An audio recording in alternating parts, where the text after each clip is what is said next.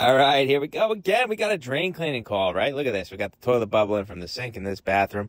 Now it gets even worse. So it's six o'clock. It's a Friday night. It's always like this. And so I run the slop sink that's like 10 feet away. Nothing happens.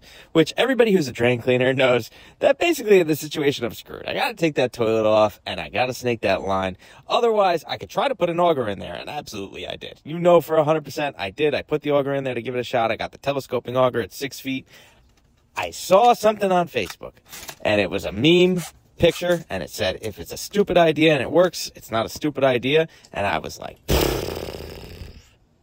this guy's a fucking genius. So I took the thing apart and I got my 25 foot snake out and it didn't seem like it had worked at first, but when I went back out to the truck, man, the drain cleaning gods shined on me, boy. Look at that. It's a beautiful thing. It is absolutely a beautiful thing.